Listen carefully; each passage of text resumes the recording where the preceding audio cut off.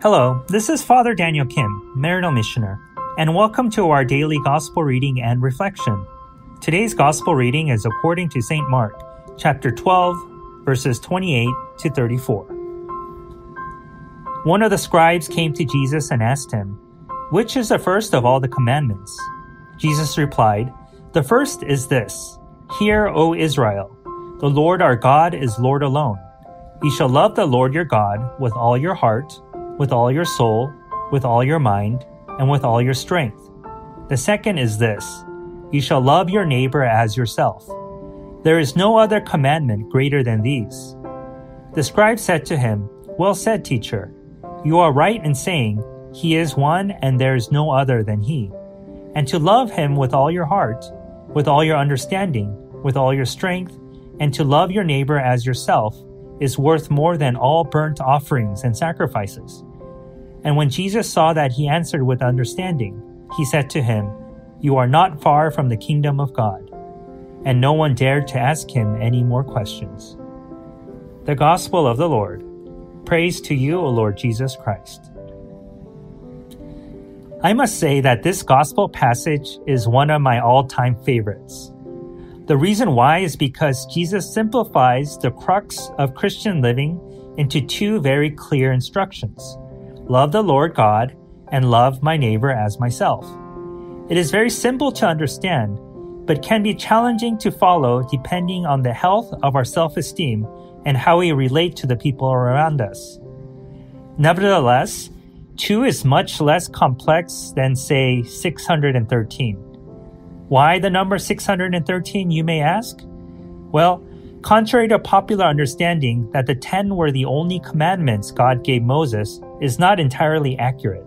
In fact, in the first five books of the Bible, or the Torah for our Jewish brothers and sisters, the total number of commandments prescribed were 613. Yes, you heard correctly. 613 ways to be devout, as well as 613 ways to mess up. I don't know about you, but for me, even 10 is a challenge to perfectly adhere to. Imagine if we were still strictly beholden to the 613 commandments that the ancient Israelites were. We'll be spending a very long, long, long time in the confessional. So, yes, two is definitely manageable. But here's the thing these two guidelines are by no means as simple as putting a check mark on the complete box. To truly live as such takes a lifetime to master, perhaps even two lifetimes.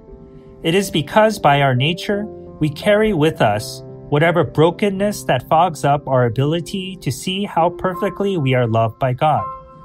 It is this obscurity that makes us doubt just how precious we are, and sadly, this is oftentimes projected onto others. So whenever we encounter someone who is nasty to us for no apparent reason, Please know that it is because he or she are under the misconception that they are unlovable. And believe me, this is something that I need to remind myself constantly. I don't know where I exactly heard this pretty pithy saying, but it goes something like this. The good news is that God loves you, but the bad news is that God loves everyone else just the same.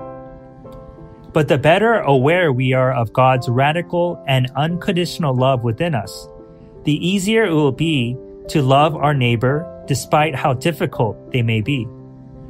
So, as we are trying to navigate these very tense and unsettling times, let us first hold true to the fact that no matter what we have done, God's love of us will, will remain unshaken.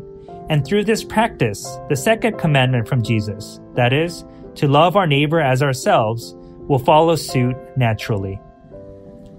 Thank you for listening to today's gospel reading and reflection. Please be sure to tune in again tomorrow. Have a blessed and insightful day.